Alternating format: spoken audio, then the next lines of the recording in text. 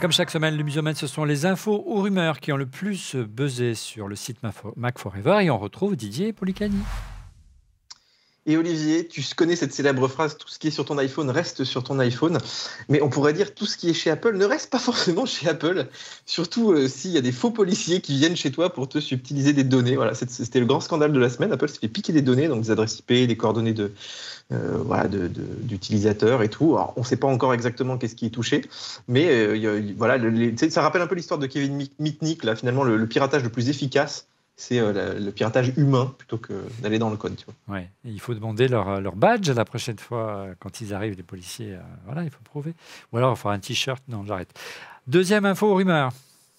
Alors ça, euh, tous ceux qui utilisent euh, Netflix, euh, enfin toutes les apps de consultation, y compris la presse d'ailleurs, Apple a dit que c'était la presse. Tu sais que jusqu'à présent, pour créer un compte et prendre un abonnement, il fallait utiliser le, système d'Apple, donc payer 30% et 15% dans la deuxième année. Eh ben, écoute, maintenant, ces apps sont enfin libérées, c'est-à-dire que tu peux mettre un lien vers ton site, mais attention, par exemple, si je veux mettre un lien vers Mac Forever pour s'abonner au VIP, si jamais il y en a qui se sentent. Voilà. Et eh ben, je vais devoir mettre un lien spécial, demander une autorisation à Apple qui va te mettre un gros panneau attention, danger, danger, vous, allez dans un, dans un endroit qui peut-être potentiellement peut être dangereux pour vous. Alors, sachant que c'est quand même des applications validées, tu vois, des services comme Netflix et tout, ils vont avoir des, des, des petits disclaimers comme ça c'est assez affolant, mais bon, voilà, ils n'ont pas trop le choix en fait, je pense, parce que les autorités de la concurrence, tout ça, ils sont pas très contents de, des pratiques d'Apple, donc ça leur permet, tu vois, de, de, passer un peu sur les côtés. Mais je pense qu'ils vont devoir quand même un peu alléger le système parce que ça me paraît un peu lourd pour créer un compte Netflix, tu vois. ça reste encore timide, mais on sent que la pression, euh, notamment en Europe, euh, pour l'abus de position dominante d'Apple dans ce domaine, euh, eh bien, bien de plus en plus, la pression de plus en plus forte. Troisième info, rumeur, Didier. Alors, petite rumeur rapide, c'est Touch ID sous l'écran, euh, qui n'arriverait pas avant 2025, nous dit notre célèbre Min Kuo. Ouais. Et euh, bon, il est très productif, hein. il a découvert Twitter, il tweet tout le temps maintenant. Donc, il y a un peu tout et son contraire, il se contredit et tout. Mais voilà, c'est bizarre parce que la concurrence sur Android a des capteurs euh, sous l'écran depuis un bon moment. Donc, ça paraît bizarre que ça arrive si tard chez Apple. Ouais, surtout que je pense pas que ce soit vraiment une volonté d'Apple, mais, mais passons. Euh, tout de suite, tout de suite. Euh, quatrième info, on reste dans l'iPhone. Euh, pour la quatrième info, oh, rumeur.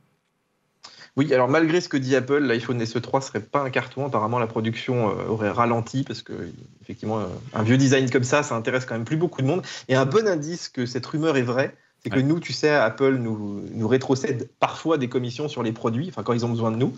Et euh, généralement, on n'a pas de commission pendant plusieurs mois après la commercialisation des produits. Tu vois, on renvoie vers le site d'Apple. Mais tu parles de l'affiliation, c'est ça de, Voilà, exactement. Tu sais, comme quand sur Amazon, sur tous les sites comme ça, ils sont affiliés, donc ils reçoivent des commissions quand ils génèrent des ventes. Sauf chez Apple. Chez Apple, ils le font pas.